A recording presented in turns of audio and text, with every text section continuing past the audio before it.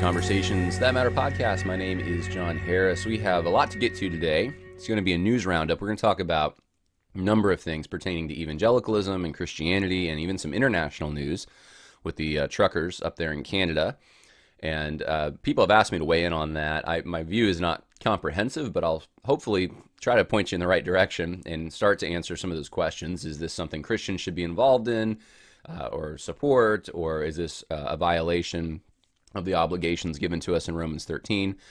Uh, so we're going to talk about that. We're going to talk about the Presbyterian Church in America. and we're going to talk a little bit about um, Grove City College and Christian nationalism as well. That seems to be the term of choice used to smear conservative Christians by folks in the media and left wing operatives within Christian organizations. So I want to show you some of this. And uh, it's, it's just going to be a news roundup today. Uh, so before we get to all that, I want to just uh, mention a sponsor for this podcast, Gold River Trading Company Tea. If you go to goldriverco.com, that's goldriverco.com, you can get some good tea.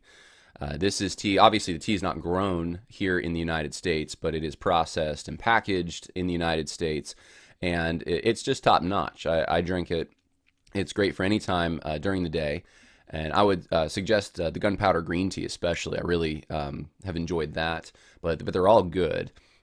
And uh, you can put in the promo code conversations if you want a discount. It's a good way to support this show and also a company that shares your values. And there's very few of those companies out there. So I would uh, highly suggest going to goldriverco.com. And if you like tea, get some tea. If you don't like tea, try it out. Just, just, just, just once, you know, get, get the gunpowder green tea, right? And just see if you like it. And uh, so I, am very thankful to them for sponsoring this podcast. And um, I, I, need to also mention uh, a uh, little bit of a travel um, schedule thing. I uh, I'm going to be speaking at a lot of different places, and um, in fact, I'll pull this up for people to see if I can here, uh, where I'll be.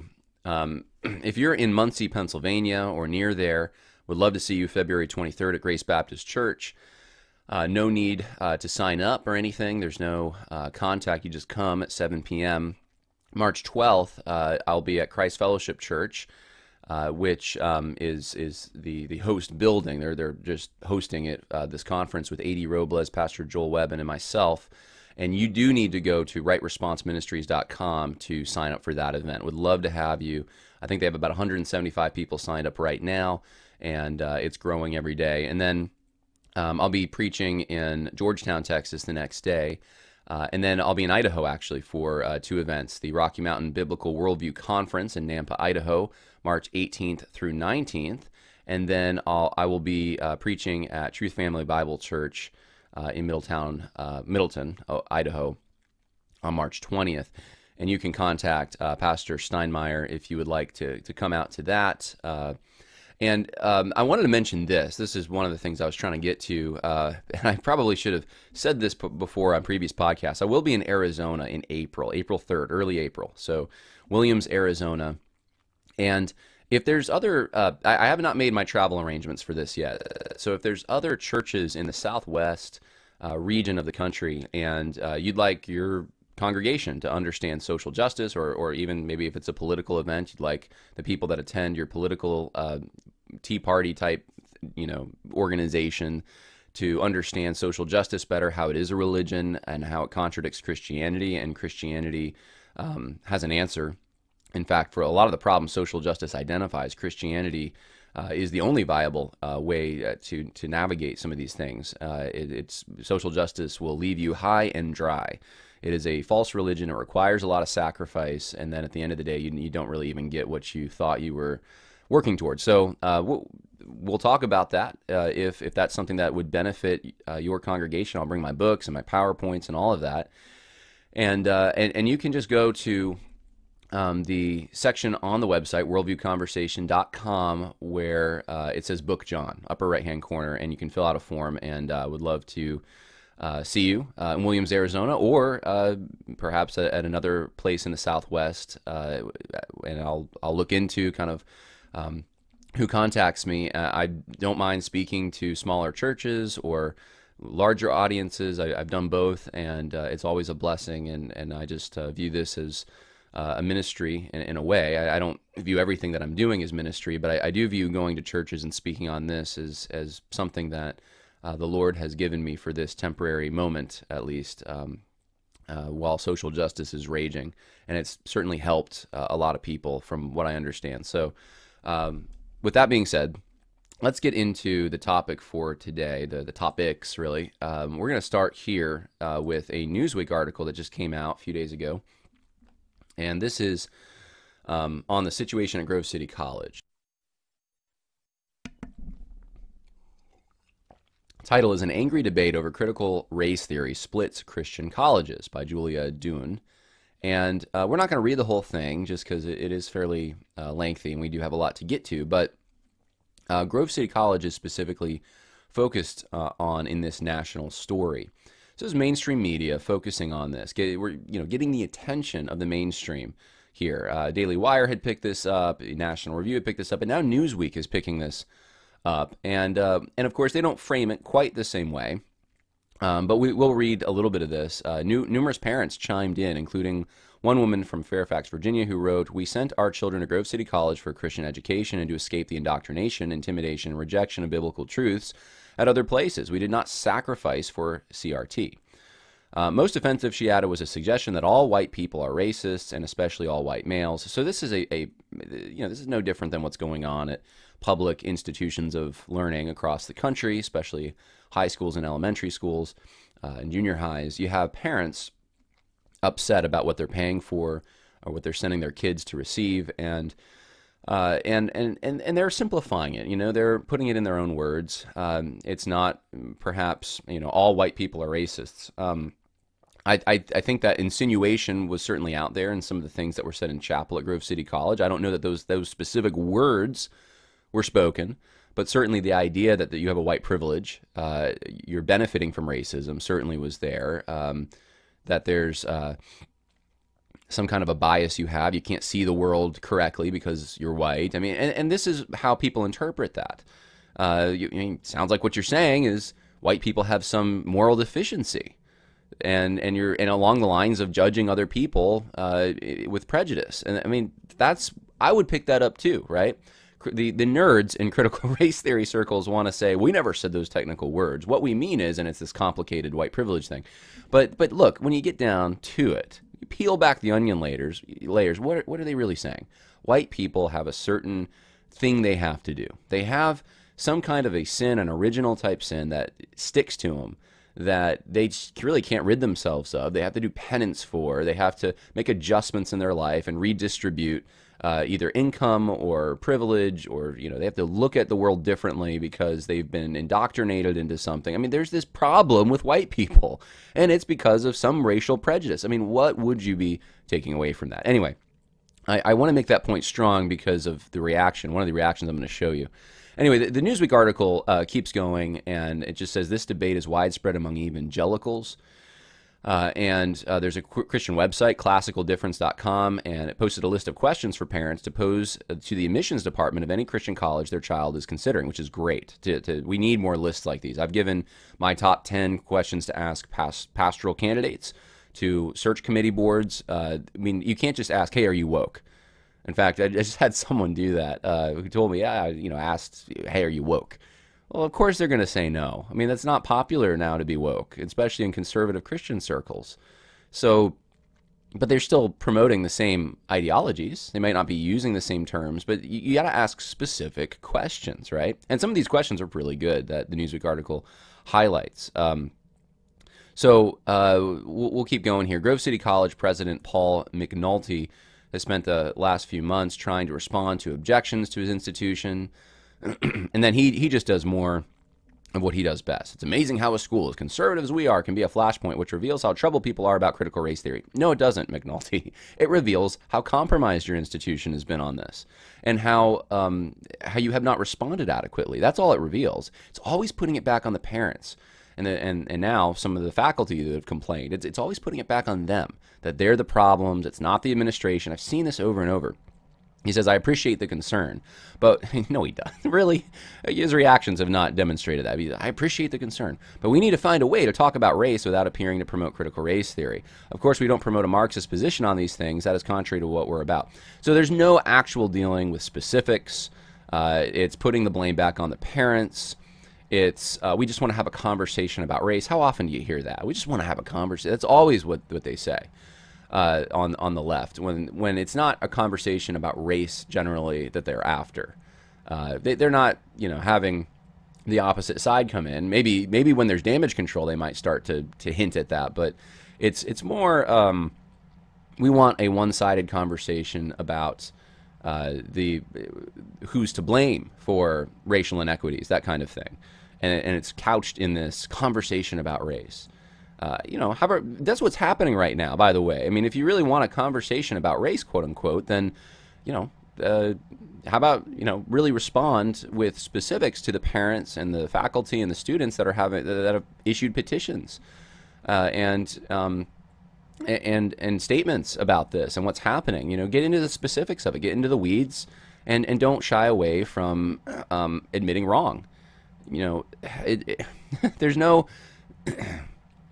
what I see is that this this phrase "let's have a conversation about race" is used as a shield to not talk about it. Right. Uh, and and this is no different in my mind. Uh, critics have equated critical race theory to Marxism because the former defines individuals largely in terms. Uh, so anyways, it goes into a little bit of critical race theory. Uh, talks about um, the, the, lengthy statement by the trustees. It's just getting into the specifics of it, and I just wanted to point this out because look, a mainstream media uh, publication is talking about this. You have uh, Josh Abbotoy, um, who really started a lot of this uh, in the media from American Reformer. Uh, they're highlighting his his uh, tweets on this. It looks like they uh, they're, just really trying to convey. It's not really a bad article, but it's it's certainly not from a conservative vantage point. So um, let's see if I can get to the point where Tisby, Jemar Tisby, they talk about Tisby. Maybe I passed it here. Oh, here it is. One of the flashpoints was Jemar Tisby's appearance in uh, Grove City Chapel. Tisby, who holds a master's degree in divinity from Reformed Theological Seminary in Jackson, Mississippi, by the way, that's where Ligon Duncan uh, is. Uh, seemed a safe bet because of the solid theological reputation of the seminary where Tisby worked as assistant to the chancellor. Yep, that would be Ligon Duncan, I believe. Tisby was invited to address students on October 20th, 2020 in College Chapel, and he's, in retrospect, inviting Tisby to give a chapel address may have been a mistake, said Carl Trueman on December 6th. Uh, Tisby's address and the president's earlier formation of an advisory council on diversity to address student recruitment, staff hires, and broadening perspectives campus-wide made some suspicious. Made some suspicious. Uh, okay, so it it keeps it goes to the ethnic makeup of the school. Uh, talks about uh, the books assigned in, a particular class. There, Kendi was assigned that kind of thing. Uh, critical race theory books, and um, and so it, it ends with this. Uh, it just says there's a good, good deal more diversity of thought at Christian colleges than at state universities. Uh, and this is uh, a quote. Let's see, is this McNulty? No. This is the dean of Talbot School of Theology. Uh, says this uh, Christian colleges actually have conservatives on campus, so the cons- conversation is a bit different there. And, and that's true to some extent. Um, that's true to some extent. So, uh, this is, I would say, a pretty fair piece of, of just trying to relay the, the debate. Uh, it's not written from a conservative perspective. It's just here's here's kind of what's going on. And, you know, I would have probably written it differently if I could, but it's not a bad piece. Uh, highlighting the fact that this debate exists. Now you have Jemar Tisby then.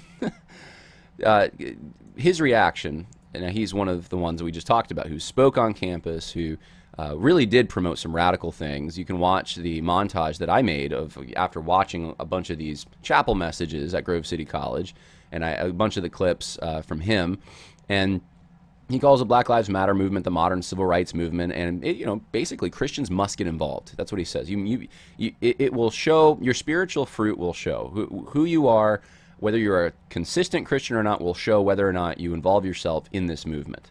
If you ignore it, if you don't get involved, you're compromised somehow. I mean, that was the thrust of his message.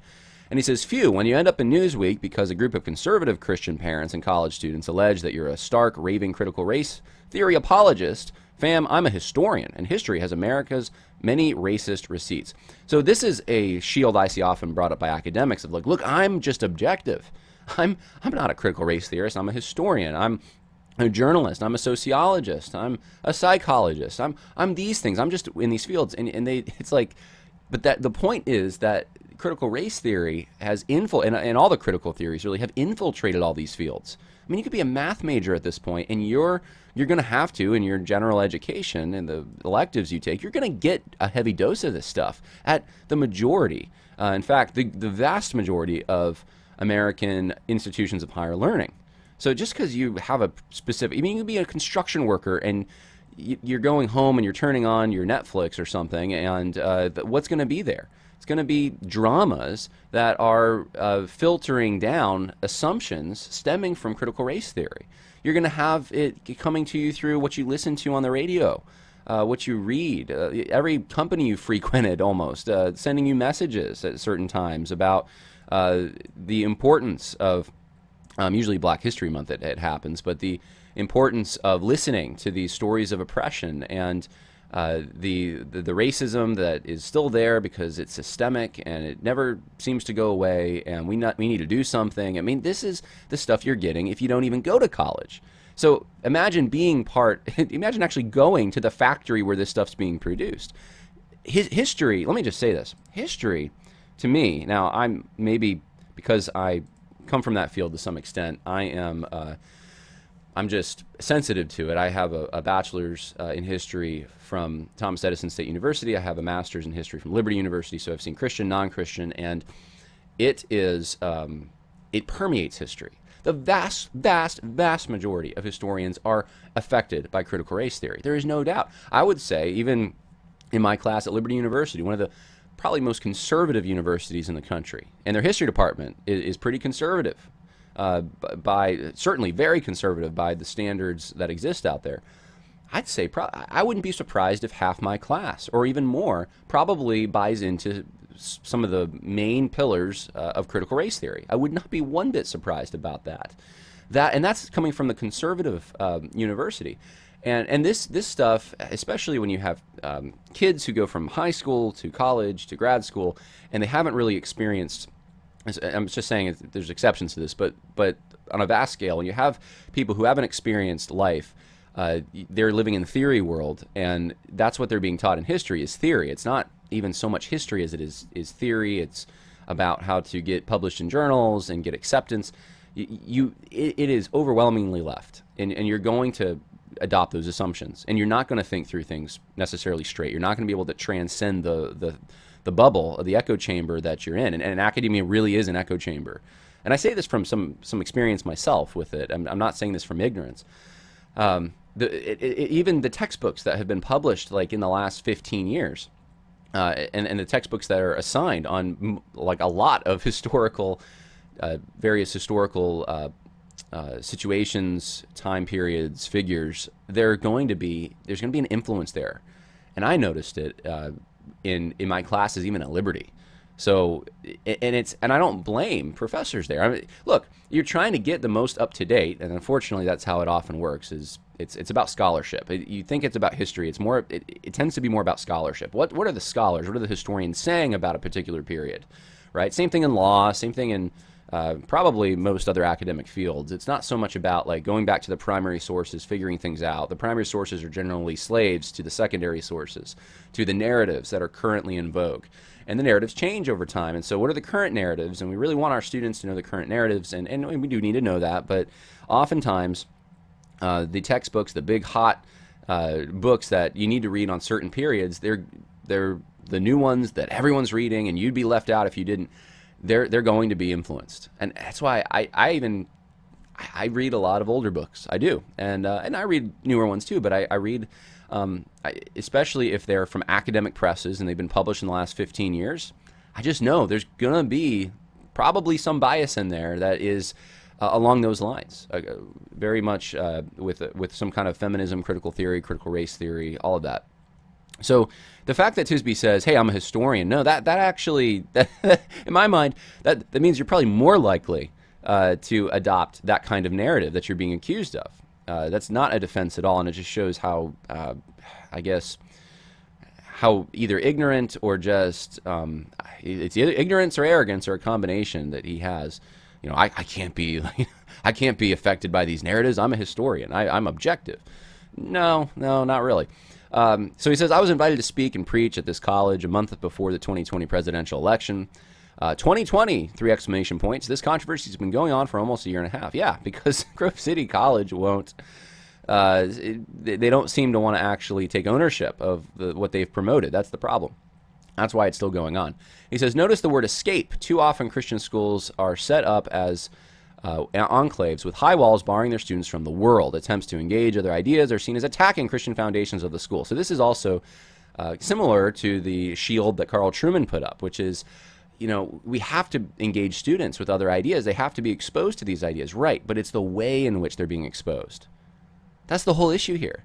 I don't think any parent has a problem with their their kids learning about critical race theory but they're going to learn, especially at a Christian conservative college, the errors of it, why it's a problem. They're, it's not learning about it in a positive way that this is something that's good and helpful and students need to follow this. And if you're, you're not really a true Christian unless you get involved with BLM, I mean, that's, that's not what they want their kids learning. So, um, so, so this is this shield. It's the same play, guys, every time. I, and I, I want to review it. I want to show you it because you're just going to hear this. You, you got to be prepared for it. These are the standard answers. I'm objective, right? Uh, no, we're teaching about it. We're not teaching it. Um, and you have to be on track when when these objections come up and say, nope, that's not the issue. Uh, if you're so arrogant as to think you can't be affected by these ideas, then you must be living under a rock somewhere because these ideas are everywhere. Uh, in fact, I have it documented here. Here's where you said this, this, and this. Uh, you said it in a positive way. You weren't just teaching about something in a, in this objective kind of sense. You, you weren't. Um, uh, you were endorsing the idea, right? Uh, you, you, weren't, there wasn't a distance between you and the ideas where you're just kind of trying to look at them objectively and, and teach kids about the mechanics of critical race theory. You were actually, you were swimming around in it. You were telling them that this is positive, uh, these ideas. So he says, Tisby goes on, he says, to the suggestion that I said all white people are racist, nah. But all white people benefit from a system that grants advantages to those considered white and disadvantaged to black people and other people of color. What do you do with it? The facts says more about you than me. So this is standard. You know, they're they're going to pick apart the simplified objections that parents generally have. You know, they don't understand. So, so on the one hand, you got to see this. On the one hand, nah, I'm a historian. I'm not a critical race theorist. I'm just an objective historian. Nothing to do with critical race theory. And then on the other hand, I'm an expert on critical race theory because those who are accusing me of teaching this, they don't actually know uh, they, what they're talking about. I do. And then he spouts critical race theory nonsense. He, it's the white privilege narrative. So on the one hand, you know, I'm a historian. I'm not a critical race theorist. On the other hand, well, I, I know all about white privilege, and I'm going to correct parents who are oversimplifying what I said. That's um, that's very typical as well. So so watch out for that. You can't have both. You know, either you know all about critical race theory, or you're ignorant about it and you're just some historian who's looking at the past uh, objectively, and you have no biases. He says, in other words, don't invite the black guy to preach about race unless he refers to it only as a past tense reality. Plus, those black Christians have suspect, suspect theology anyway. They should leave politics out of the pulpit. So here's here's another huge contradiction. Literally, in the previous tweet, Jemar Tisby is accusing a parent of misrepresenting him, and then he proceeds to completely misrepresent uh, Carl Trueman. Uh, th- so this is is fascinating to me, and he does it in such a worse way. Carl Trueman never said any of that. Car- Carl Trueman never said leave politics out of the pulpit. Carl, Carl Trueman never said black Christians have suspect theology, right? And I think Carl Trueman's been so pretty much compromised on this issue when it comes to his own school. But you have Jemar Tisby. Uh, I mean, they will attack any slight deviation, any anything that is not a full embrace of their position. Even though Carl Trueman's trying to play this middle game they, they will just they'll attack it and, and it, it, that's why it's impossible for someone like Carl Trueman to operate. You, you can't. You cannot have it both ways. You, you got to choose a side, right? And, and that's been a big problem with many of the people in uh, pastors, members of evangelical organizations that have influence. They tend to want to do this middle ground thing. It doesn't work. And you have now Carl Trueman uh, getting um, uh, critiqued from both sides. You have people like me critiquing him, you know, in previous episodes for his, uh, in my opinion, a very disappointing response to all this. And then you have Jemar Tisby just misrepresenting him, flat out putting words in his mouth that don't belong there.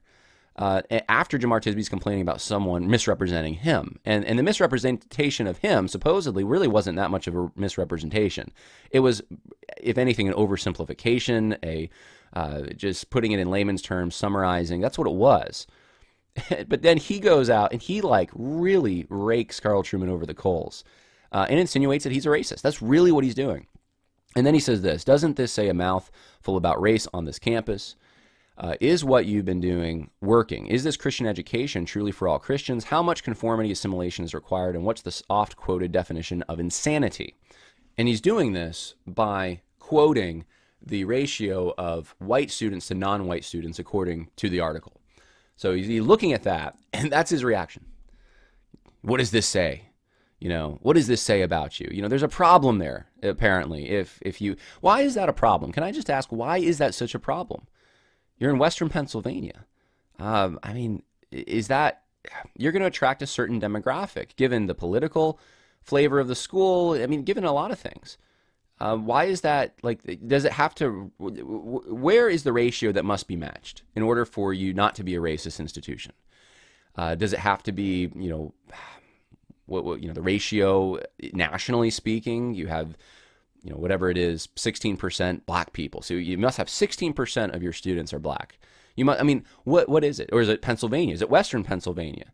You know, is it, um, is it North America? Is it, these, uh, standards are just, they're, they're, they're not rooted in anything really. They're, they're just a, um, it's just a way to smear schools if they have too many white students. That's a problem, apparently. That must mean you're racist. And this is what Jemar Tisby's doing. Uh, I mean, he's proving that he buys into some of these critical race theory assumptions. You know, there's white privilege is benefiting people. It's it's white students coming. Why are they attracted? It must be because, uh, you know, they just really want to be with white people and they don't want to be with uh, the 172 non-white students, and that's that's low enough. That's a low enough number for the parents to feel comfortable sending them or something. I mean, it's just smearing, questioning motives, showing that racism's normative. It's just always hidden there, and it comes out in these disparities. And then Jemar Tisby says, I keep telling you all, CRT is simply the latest scare tactic meant to intimidate Christians into ideological conformity. This is such projection. He says, curtail efforts to create racially inclusive organizations and demonize those who speak up about it. Anyways, check out my work. And there's the advertisement at the end, jemartisby.com. Uh, right, and that really takes away from everything, right? You just you gotta go to my website. I'm gonna I'm gonna tell you. Uh, yeah, this is CRT is a scare tactic used for to for ideological conformity.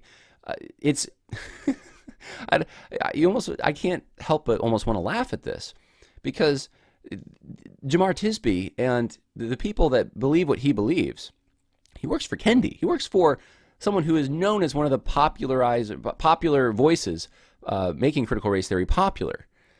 And, and, that is pure ideology. That's what critical race theory is. It, by, def, by definition, it's ideological. And um, and so he's he's then turning it around and just accusing anti-CRT. If you're against it, that's ideological, right? So this is full of this this response hypocrisy.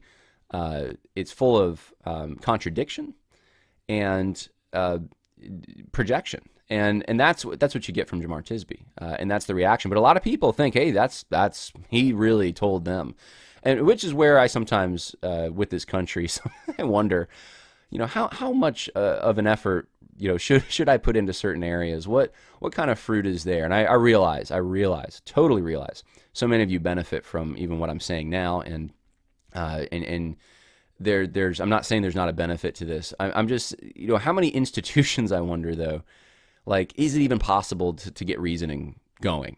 Can we even go back to the days where Christians and atheists used to debate all the time? And and can we do that with these other issues? I just don't see it happening.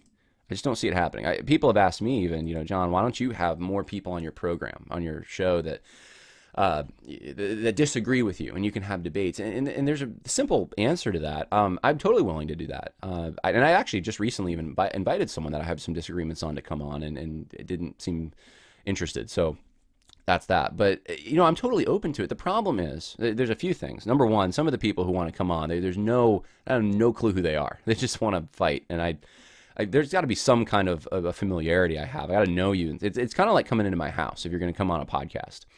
You're a guest. I'm a host. and and that's why I'm, I'm very reluctant. Uh, to, if someone comes on and disagrees, you know, I, I can push back, I can disagree, but it's just not the best form for it. I'd rather have a neutral, more neutral forum, a, a third party that's hosting and putting time limits on it. Uh, you can't. Uh, it's got to be a debate format. It cannot be an open-ended conversation kind of thing, unless that person's very mature, and few are. And that that's really the main thing. The, the simple answer is there are so few willing to engage in actual reason.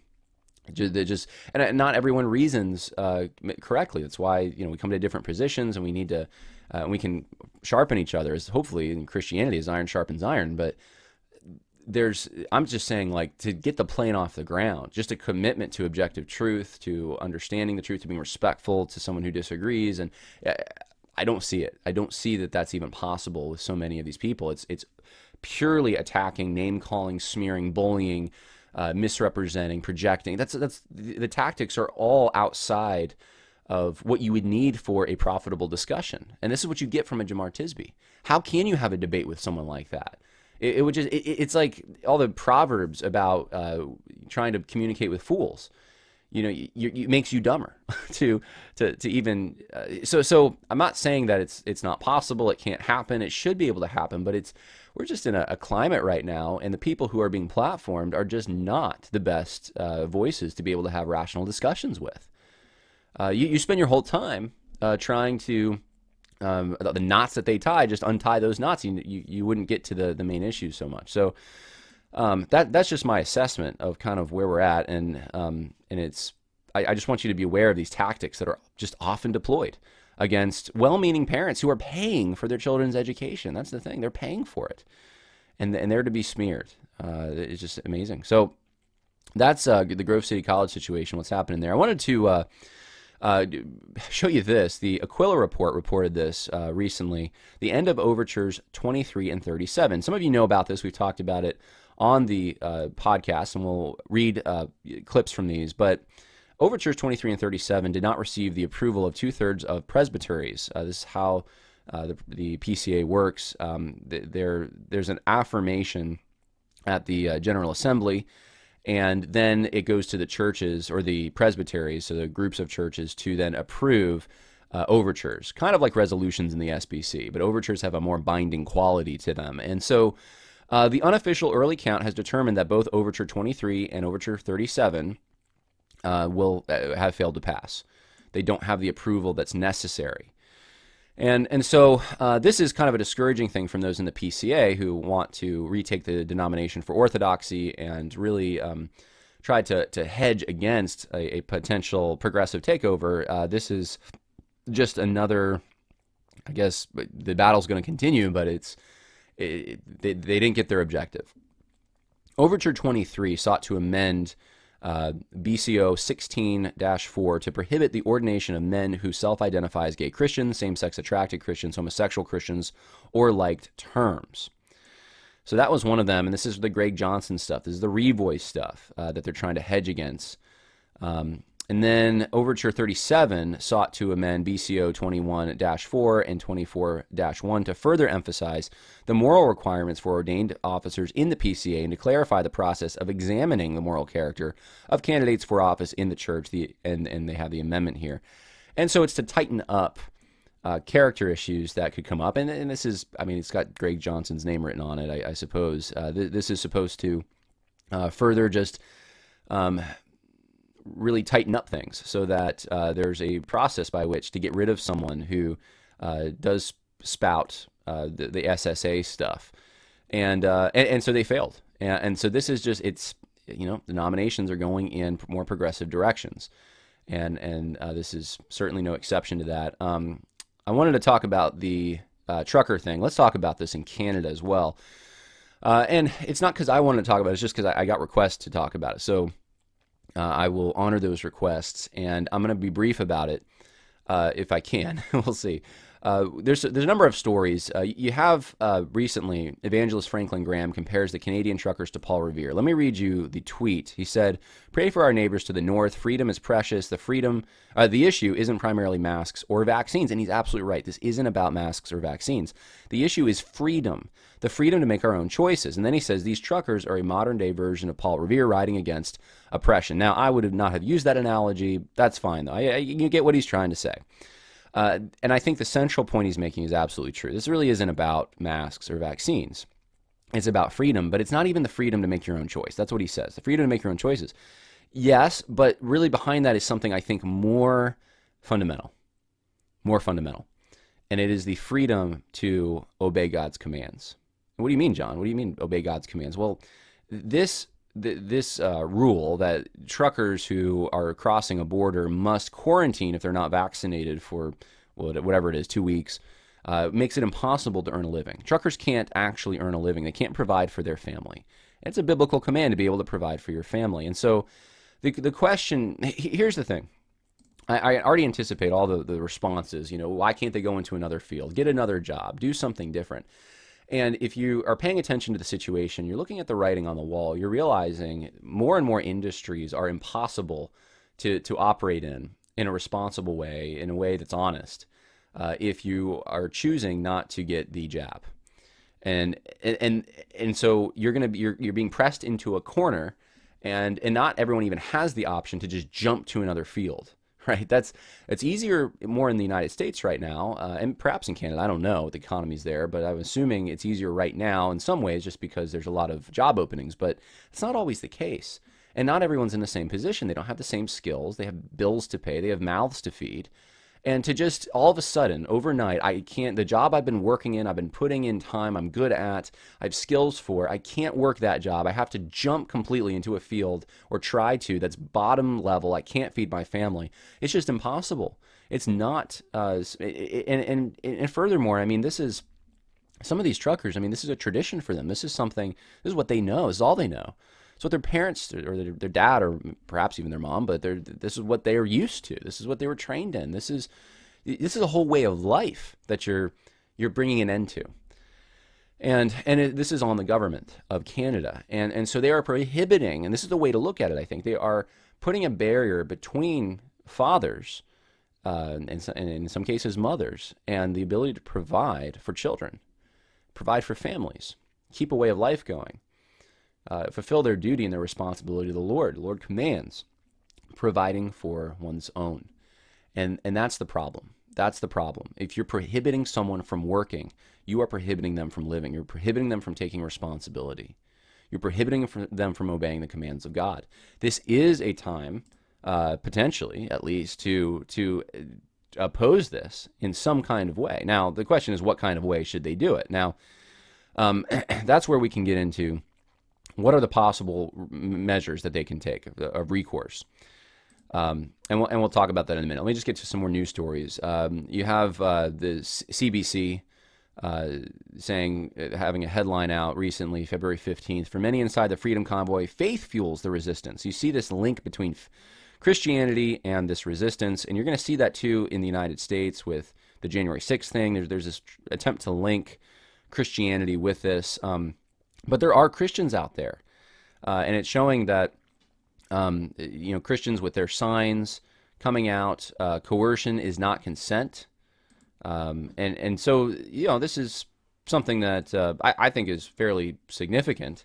Uh, that you have Christians that are are willing to do this, and why would they? Why would they uh, be willing to do this? I mean, this person um, in the sign here is, is quoting Ephesians six, saying the battle's not against flesh and blood. Uh, they view this, uh, the Christians who are there, according to this article, they're viewing this as something much deeper. This isn't just about, as Franklin Graham said, um, masks. This isn't just about um, getting a jab. This is about something much deeper. This is they, they are sensing a, a spiritual play going on. Uh, there's there's a sign here. Let me see if I you can see it here. Uh, we must obey God rather than men, right? and and that's appropriate. Obeying God means providing for your family. This is a fundamental duty that the Lord has given to to uh, to, to, people. So uh, it's it's our duty to um, to, to oppose those who would prevent us from obeying God. So um, that's that's a summary of of this, and and perhaps there's a vilification going on, an attempt to smear Christians as being part of this somehow. Uh, you have Pastor Artur uh, uh, Pawlowski arrested. Now he's been arrested several times, but before he even was able to drive to the convoy to preach uh, at at one of these events, uh, he was arrested. So there's, I mean, and you have the video here. I mean, it's just it's heartbreaking to see this, and and the charges were attempts to create mischief. That's that's the charge. Uh, here's another. The Ottawa Citizen um, says, "Honk if you love Jesus." Why so many evangelical Christians have joined the Freedom Convoy, and this is a fascinating piece to me because it shows how uh, Christians have seen this as an evangelism opportunity. They're going out there, they're setting up booths, they're um, using this uh, you know, it, with people who have signs that say F Trudeau and, and these kinds of things, they're going there with Bible verses. They're sharing the gospel. And why not? I mean, this is a perfect opportunity. I've said this, I don't know how many times, but the opportunity that exists right now seems to be more on the right of the political spectrum. There's depression, there's desperation, there's uh, an openness to uh, some kind of spiritual help in, in these situations. And for many on the right who are not Christians, it's a perfect opportunity. They're more open to it. I'm just telling you. It's just the, the fields are are white. They're ready. And yet you have TGC and Christianity Today and the, the Big Eva Guild, you know, primarily still focusing on trying to appeal to the left. And and we got to be a, a, witness. They got to be a, a, a, uh, engage the culture, be the, the social witness on the left. And the, when the opportunities, I'm not saying not to focus on the left at all. We need to we need to evangelize everyone, but there's there's a golden opportunity right now for people that let's face it, losing your livelihood. I mean, that makes you pretty desperate. That makes you start to pray. Okay, and so um, this is a great opportunity, and I'm glad to see that there are uh, Christians who are going and taking advantage of this. Uh, so let's let me skip ahead here. Uh, just a few resources for people who want to think through something like this more deeply. One is the um, Magdeburg uh, Confession uh, Magdeburg Confession. You can go online, just type it in, and uh, you, you, get a PDF of it. And um, you know, this is a this is where Matt Trewhella uh, he draws on this for his Doctrine of the Lesser Magistrate book. But it outlines the duties of government. When when does a government become tyrannical, and when is it a duty of a lesser magistrate to oppose a greater magistrate? Um, and then, uh, so these are all. This is would be Lutheran, but we have uh, Lex Rex, which would be uh, more Presbyterian. Samuel Rutherford, uh, one of the uh, ones involved in um, the Westminster Confession, wrote uh, Lex Rex, Law is King, and, and, making many of the same points that the Magdeburg Confession makes. Uh, so this is this is Protestant resistance theory, and um, there's another one I have actually right here. Uh, oh, I guess people aren't seeing what I was pulling up there. There's Lex Rex and there's the Magdeburg uh, Confession. Um, another resource to share with you is uh, this one that I have in my hands. This is by Pierre Viret. It's called The Christian and the Magistrate. Again, these are this is old stuff. This is uh, this is original. I mean, 16th century Swiss reformer. That's who Pierre Viret was. I mean, and it's making some of the same exact points. Scottish Covenanters made some of the same points. We have actually a rich Reformed uh, Protestant, really tradition of resistance uh, when and the basic argument is that the government has a certain responsibility when it fails in that responsibility and we know everyone fails but when it when it's preventing people from obeying the lord there is a duty to oppose this and it should be a legitimate authority it should be a lesser magistrate that is you know not a mob uh, but but a legitimate authority now the, the the tricky thing about this trucker thing in my opinion is that um, where's the legitimate authority in all this? Who's, you know, what government or what entity, you know, can, can claim to represent all these truckers? Uh, the, the, the left has no leg to stand on because what they've, they, they constantly cry, you know, therefore the, the, the working person, therefore the, the little guy. Uh, from Karl Marx, right? Workers of the world unite, and now they're uniting, and it's like, no, not not like that. you know, don't unite like that. Uh, so there's total hypocrisy. There's total hypocrisy from the riots that happened in 2020 and the support given by the left. And, and, and this was actual criminal activities, like, I mean, real dangerous criminal activities going on. Uh, you see these Canadian truckers and they're dancing and they're having a party sometimes and they're, they're just um, trying to get the attention of the civil magistrates to, hey, we, we want to work, want to be able to feed our families. Uh, much different, and yet there was support for those particular riots and, and for this protest uh, it, it, they're treated like the scum of the earth. And that's a huge contradiction as well. So the left has no leg to stand on. But as Christians, uh, I don't know if I have a complete thought out answer on this. Um, I tend to, I, will be honest with you, from the little I know, I tend to be sympathetic uh, with the truckers. And the reason for that is I tend to think that they don't have uh, really people representing them. They have people who depend on them. Everyone depends on them, but they don't seem to have representation. They don't have um, and so they're they're coming together and they're forming. Now, this is the question: is what they're forming an orderly, uh, legitimate authority structure? Is, is that what's coming together? Is it a mob of unruly anti-government, uh, you know, rioters, or is this? And this is the question I think everyone has to ask: Is this an attempt at legitimate authority? They're coming together, and they're doing so peacefully and orderly and they're making certain demands and the demands are we want to fulfill the responsibilities god has given us. We want to be able to feed our families. And i mean look um, even in, in deuteronomy you find deuteronomy 24 6 says this uh, no one shall take a hand mill or an upper millstone in pledge for he would be taking a life in pledge One's livelihood, one's ability to provide for themselves is their life. You take that away from them. And that's another question you have to determine. Is that what the Canadian government's doing? I, I, I tend to think, yeah, that is what they're doing.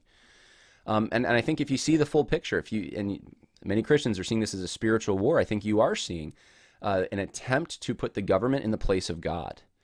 And it's not just this decision; it's the whole Great Reset agenda is an attempt to, for the government to control everything, and to, to, you can't question the government. There's no recourse. I mean, in, in, the United States right now, there's even a doubt whether we have a recourse in elections in, in some ways.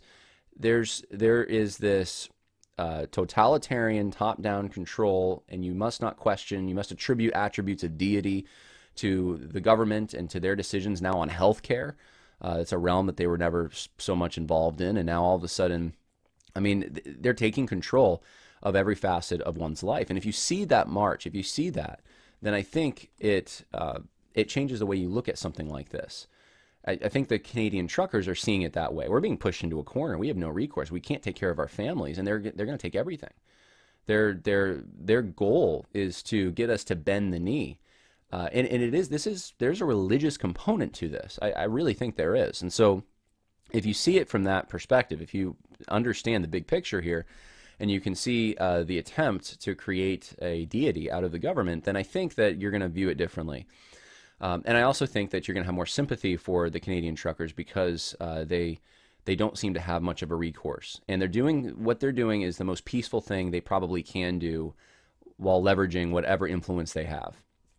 And so um, there there does seem to be public support for this. Uh, you can see it in even the poll numbers for Trudeau. There does seem to be a uh, if you, you, want to talk about, you know, who, who's representing the people at this point? Is it the the supposed politicians or is, is it these blue collar truckers? Are they representing the people more than the people who are their job is representing the people? Uh, that that's a very interesting uh, question to go a road to go down. Uh, I, I, there there could be and I think there is probably a failure in the um, the, the the system of uh, representation up there, and certainly there is in the United States in many areas. And so, um, so you have, do you have a legitimate authority? That's the question that must be answered. Do you have a legitimate authority here? And is it, is it right for them to then shut down these border points? Uh, and, and, and so I, don't, I, I have a suspicion that a lot of the accusations being made, you're, you're keeping people from going to work and all these things. I have a suspicion that that's a little bit overblown, that that is being used as a way to smear these truckers. Uh, I'm not saying it's not happening. Um, and and and that that is uh, that is somewhat of a problem. I will admit that. Uh, but um, it seems to me that the the the basic thrust of this and all the, the images I've seen in video is that these truckers are uh, they're they're lining up mostly around border points, which is a direct response to Trudeau's uh, rule that you must quarantine if you cross a border. And that's that's what they're trying to do is say, look, we the economy is going to stop until we are able to, to, feed our families. So that, that's just that's how I'm thinking about this. not saying I have all the answers, and I'm open to people, you know, suggesting different things here, but. Uh, I, I, don't know that they have much of a recourse, and, and they're using, they're leveraging in the most peaceful way they know how the influence that they do have and it seems like there is there is public support for it. There is some legitimized way, some legitimized authority going on here of some kind, and so. Um, I don't know enough about it to know who the ringleaders are and, and all of that, uh, or if there there are people in government who are representing the voice of the truckers now. I, I, I saw a clip uh, Jordan Peterson had posted of some uh, parliamentarian, I, I, guess I don't know what they call him in Canada. I guess a, a, member of parliament who who did seem to be representing the the interests of the truckers. So it, it does seem like there might be some legitimacy uh, to this. But uh, I certainly I, I don't think that this is just the way that some people are making it out. Like this is just this unruly anti Romans 13, anti authority. I, I, don't see that. In fact, I see that the ones that are rebelling against authority are the ones in the Canadian government more than anything else. And uh, and they need to stop and they need to let people work. And um, so, anyway, that's uh, that's kind of where that's how I'm thinking about it at this point. Last but not least, I wanted to uh, quickly go over some news stories here. We're not going to read them all, but I wanted to uh, just show you the headlines. Uh, this is within. I just typed in Christian nationalism on Google News. Okay, last 12 hours ago, fighting the distorted moral narrative of Christian nationalism and white supremacy. Uh, Religion News Service, six days ago, new report detailed the influence of Christian nationalism on the insurrection. Uh, NPR, one month ago, Christian nationalism is still thriving and is a force for returning to Trump to power. Three days ago, victimhood, racial identity, and conspiracyism interact with Christian nationalism to lead support for violence. Salon.com, five days ago, Christian nationalism drove January 6th. It, eh, look, this. 17 hours ago, new report on white Christian nationalism, and this is all recent. This is recent stuff. And this is it's universal. It's everywhere. And so I just wanted to point out something. The left knows their enemy. They know their enemy. They know that they cannot reach their objectives if Christians keep being the way they are and voting for more candidates that would oppose their objectives. They know their political enemy and they are invested in defeating that enemy. And they will use all the power they have of the media, and they'll use uh, all the operatives they have in Christian organizations, and they'll use the arts, and they'll use the academy. They'll use everything lined up against these evangelical Christians who vote for Republicans. And they will smear, and they will lie, and they will misrepresent, and they will come up with name calls. I mean, this is on a playground, and it's coming up with a name call that's that's think about it that way. Bring it down to that level. That's what we're, we're doing. Marginalize the, the that that kid over there, uh, who, who wants to follow the teacher's rules or something. You know, doesn't want us to go do bad things during recess. Marginalize that kid. Make fun of that kid. I mean, this is where we're at. It's where we're at. It's where the money is being put. It's there's investment in this, and the, the our side, if you want to call it that, of the the more people on the more political right uh, don't seem to be as concerned or interested in counteracting this in securing their base of support, and that's is a real problem. So, and I've seen this my whole time being involved in this. The right is reactionary for the most part. They are not. They, they don't even. They're not even reactionary enough. They're not securing their own uh, base. Um, of voters. They're probably embarrassed by them to some extent, and and this is where we're at. So um, I, I, don't want to get into detail about the, the, the whole Christian nationalism discussion, other than it is the boogeyman. It is what's being put out there as to smear conservative Christians. But uh, I mean, look, I was I was there. I wasn't in the Capitol, but I was there for the rally. Uh, and look, were there Christians there? Yeah, there was even some Christians doing some evangelism and stuff. I would not say the flavor of that was Christian, though. I wouldn't say it. Uh, that particular, there were other ones that were. That one, I wouldn't say the flavor was Christian. It was, it, it was very much a desperate attempt by all kinds of people to make sure that the election process still had some integrity to it, and uh, they're they're wanting to connect even something like that, anything that would stand in their way to, uh, to, to some smear, to Christian, blame the Christians, right? I mean, Nero was the first one to really do this well, right, from history. uh, blame them, uh, make them the, the, the targets. And so I think that's what we're seeing shape up. And there needs to be a counteraction. There needs to be some kind of a, a way to oppose this uh, that faithfully uh, deals not just explains Christian nationalism and deals with the facts and how they're abusing this term and, and, and creating a term in some ways, but actually that, that pushes back in an aggressive way. You you are being bullies. You are smearing. You know, target the people who are behind this narrative. And what what they're doing is is disgusting. You know, you there's a group of people here that give more to charity, that are good citizens for them in the main, uh, that you know these are the kind of model citizens you want in your country, uh, and and yet you're still trying to smear them, still trying to connect them to some kind of evil thing uh, in your mind, something that will play out uh, negatively in the mainstream, so you can smear them and eliminate your enemies. Point it out, call it out. That's kind of what we need right now, and I'm not seeing much pushback. I'm not even seeing much pushback from people that are supposedly leaders in the Christian conservative organizations uh, in Christian in evangelicalism itself. It's it's just it's amazing to me. So um, that's something that I, I, may be spending some more time on this whole narrative and really explaining it and and we'll, we'll see we'll see where this goes but I see this as this is this is the narrative and this is going to keep going and this is going to go right into the election I think that's going to be a big thing this summer and fall is this Christian nationalism looming threat and we need to defuse that bomb. So I uh, hope that was helpful uh, for you. And uh, just a reminder for everyone uh, check out the dates that I'm going to be um, out there. Uh, see if I don't think I have it pulled up anymore. Uh, anyway, Muncy, Pennsylvania. I'll be near Austin, Texas. And in April, I will be in Arizona. If there's anyone in the Southwest who, like I said, wants to book me to speak, I'd love to have some more locations down there uh, just go to worldviewconversation.com, go to the tab that says Book Jon. Look forward to seeing you, and hope this was helpful. Bye now.